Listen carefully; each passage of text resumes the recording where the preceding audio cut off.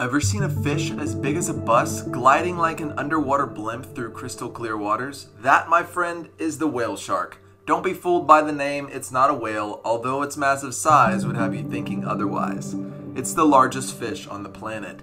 I'm Caleb and welcome back to All Things Marine Life. If you love learning about ocean life as much as I do, especially the unbelievably weird and wonderful, then buckle up because today we're exploring one of the most majestic and mysterious creatures of the seas, also, it's my favorite shark.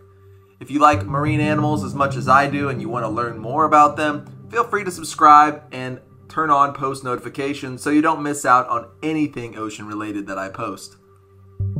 Now, to set the stage, let's raise a few questions that will guide our deep dive into whale sharks. Why are they called whale sharks? How does a massive creature keep from starving when all it eats is microscopic plankton? And what mysteries still swirl around their reproduction, even after decades of research? Got it? Let's go find some answers. First up, is it a shark? Is it a whale? It is indeed a shark. Whale sharks belong to the family Rhincodontidae, placing them firmly in the shark category, or cartilaginous fish. They get the whale part from their name purely because of their whale like size. After all, these gentle giants can grow to lengths of 30 to 40 feet, or 9 to 12 meters, or even more, weighing upwards of almost 20 tons. Their wide, flattened head, huge mouths, and unique coloration are truly something to behold. Despite that gigantic mouth, whale sharks have tiny teeth, so you can breathe easy if you happen to snorkel near them. They don't pose a threat to humans whatsoever, which has earned them the nickname Gentle Giants. I can also attest to this because I have indeed had the pleasure of diving with the whale sharks at the Georgia Aquarium in the Ocean Voyager tank. Very amazing experience. I did it when I was 17 years old. Here's some footage to show you me in the tank. You can see me right there. I am the ginger that's standing out among everybody else. So yes, it is the biggest fish in the sea, but ironically one of the most laid back. If that doesn't pique your curiosity, I'm not sure what will. Now let's take a closer look at this polka dot superstar. Whale sharks are covered in a mesmerizing pattern of spots and stripes, each as unique as a human fingerprint. Researchers actually use specialized software similar to what astronomers use to map stars to identify individual whale sharks by scanning these spots. If you've ever heard a diver talk about meeting the same whale shark in different locations, they might recognize it by these patterns. It's like a big swimming ID tag. Pretty neat, right? Another key feature is that giant mouth, sometimes over 4 feet wide. But don't worry, it's designed for straining plankton from the water, not for chewing swimmers. And also, on a side note, sharks only kill around 5 to 6 people per year, while coconuts kill 150 people per year. So if you're scared of sharks, hopefully that eases your fear. Inside the mouth, Hundreds of tiny teeth line their jaws, though they rarely actually get used. Let's just say they're more like fashion accessories than practical tools. Which brings us to their buffet of choice plankton.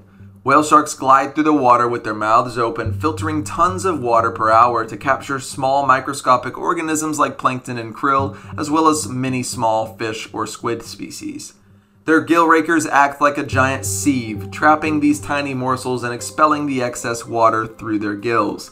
You might be wondering how does something so huge survive on such small snacks? Well, whale sharks are essentially the shark version of a baleen whale. Slow, steady eating adds up to a lot of tiny meals that help them maintain that massive body size. It's nature's reminder that you don't have to be a top predator like a great white to be the biggest fish in the sea.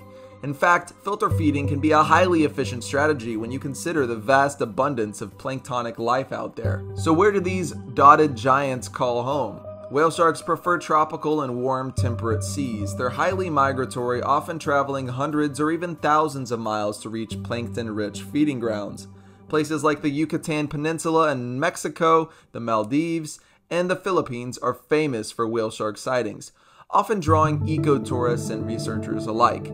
Sometimes whale sharks gather in groups called aggregations, especially where plankton blooms are dense. It's like a whale shark potluck. You can see 50 or more of them feeding in the same spot, which is an incredible spectacle for anyone lucky enough to witness it.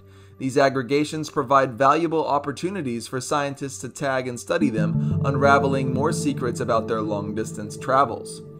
Now, Let's dive into one of the biggest unknowns about whale sharks. How do they reproduce? We do know whale sharks are ovoviviparous like many other sharks. They develop eggs internally and the pups hatch inside the mother before being born alive.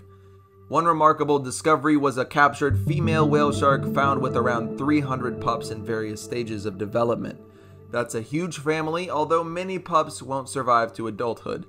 Beyond this, though, there's a lot we don't know. Whale shark mating rituals, specific breeding grounds, gestation periods, all still are under study. The ocean loves its mysteries, and whale sharks certainly keep some of the biggest ones tucked away. With more tracking and research, we might one day shed light on these hidden aspects of their life cycle.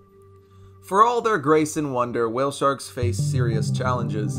In some regions, they've been hunted for their meat, fins, and oil, though international efforts have made such trade illegal or heavily restricted in many areas. They're also vulnerable to boat strikes. Imagine a slow moving giant near the surface and a high speed vessel zooming by.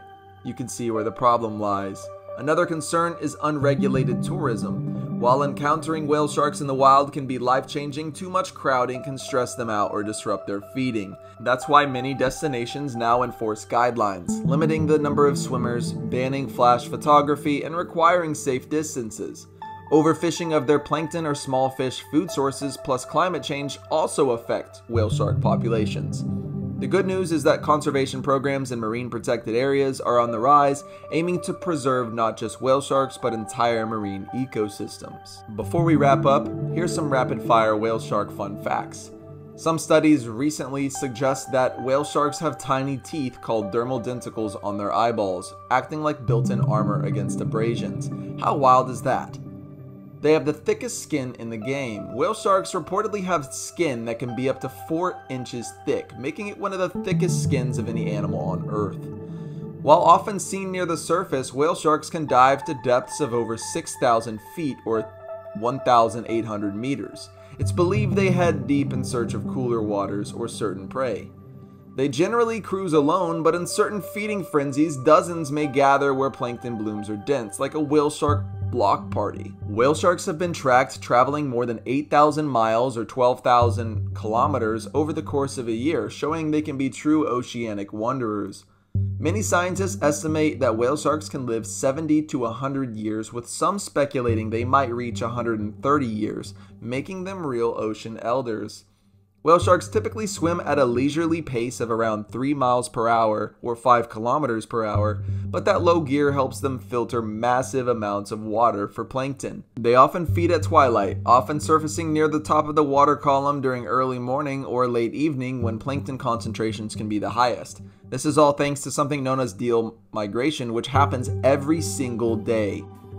The largest migration of animals happens every single day on our planet. It's called diel migration. Basically, animals come from the deep up to the surface at night to feed. They don't see perfectly in pitch black, but large rod dominant retinas help whale sharks detect movement at lower light levels, handy for deep dives and nighttime plankton runs. After getting to know whale sharks a bit better, it's clear they're more than just the biggest fish in the sea. They're a symbol of the ocean's vast, mysterious beauty. These gentle polka dotted giants remind us that not every large creature out there is a fearsome hunter. Some simply glide through life, content to feast on the ocean's tiniest treasures. I hope this journey inspires you to appreciate whale sharks and maybe even consider witnessing them in person one day. Responsibly, of course. If you do, remember to follow local guidelines to ensure these giants remain safe and stress free. If they're on your bucket list, trust me, seeing a whale shark up close is an experience you'll never forget. If you enjoyed this deep dive into the world of whale sharks, go ahead and tap that like button and subscribe for more marine marvels. Thinking about exploring other creatures, check out some of my other videos out there. And thanks for watching. Until next time, keep exploring, keep learning, and stay tuned for more awe inspiring dives into all things marine life.